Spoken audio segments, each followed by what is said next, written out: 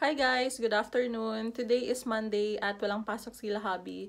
At pupunta ako ngayon sa 7-Eleven kasi magbabayad ako ng bills. At may bibilhin din ako sa supermarket.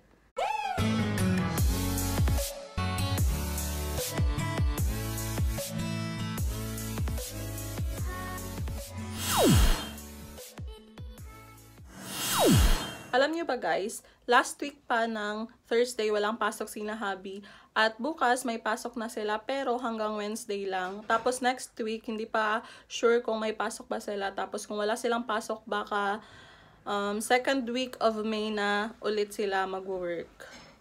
Ito yung babayaran ko ngayon guys, bill sa gas. Malaki pa rin yung bill namin ngayon, 14,594 yen. Ayan, tapos ito, guarantor fee sa apartment namin kasi hindi pa kami permanent residents kaya kailangan namin magbayad once a year ng guarantor fee na 10,110 yen. Tapos eto, kararating lang din ang bill ng tubig namin guys. Ayan, 11,372 yen. At every 2 months kaming magbabayad ng bill ng tubig. Sa May pa ako magbabayad guys kasi sa May 15 pa yung deadline. At last week, nakabayad na rin ako sa bill ng kuryente namin which is 5,000 yen yung binayaran ko. Ang daming bayarin talaga dito sa Japan.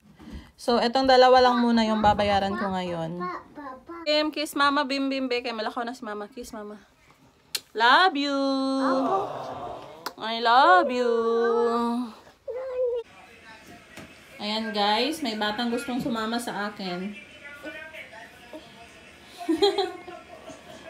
Asa ka to, Bem? Bye-bye. Gusto mong sumama, Bim Bim? No, no. Mag-sleep na si Bim Bim. Mag-sleep na si Bim Bim, ha? No, no. Mag Lili, mag-uban. Na. Gusto niya sumama sa akin, guys. Hindi pwede sumama si Bim Bim. Oy, no, no, oy. Na-virus. Mama lang, ha? Sige na. Sleep na dito ka. oh.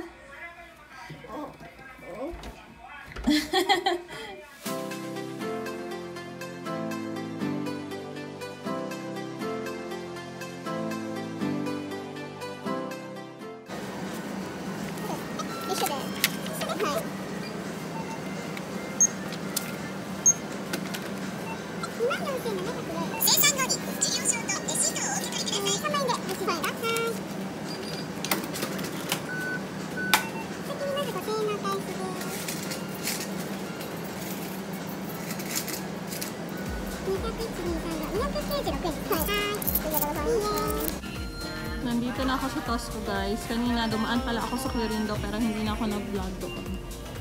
So ayan. Bili tayo ng saging.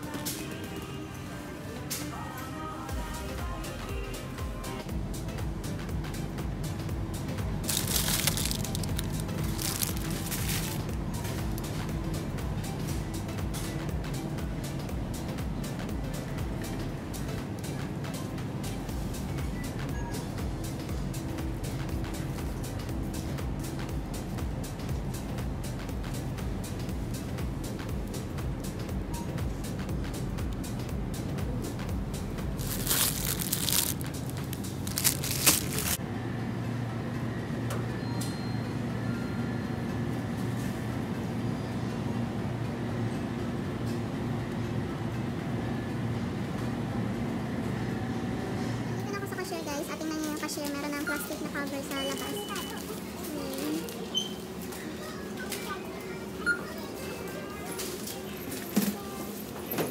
Saka meron ng 1 meter na distancing dito. Hi guys, kakauwi ko lang dito sa bahay at 'di ba sabi ko kanina na may pasok na sila habi bukas at sa Wednesday. So ngayon tumawag pala yung tanto siya nila at cancel yung trabaho nila this week. At next week hindi pa sure no. Hindi pa sure kung may pasok sila guys. So wala wala talaga siyang sasahurin sa June. Nga nga kami nito guys, nga. Anyways, magko-haul na lang ako ng mga nabili ko kanina. Ayan.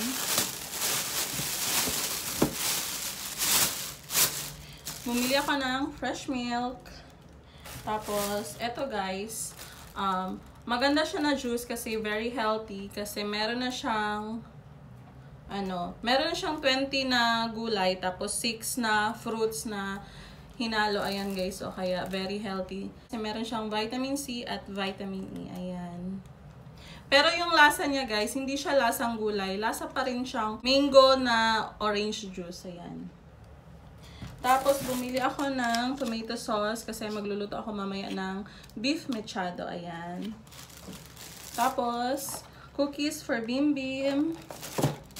Tapos, sabon ni Bim Bim guys kasi naubusan na ng sabon si Bim Bim.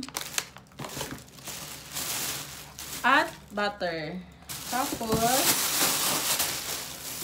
eto, kitchen towel. Bili ako ng yogurt.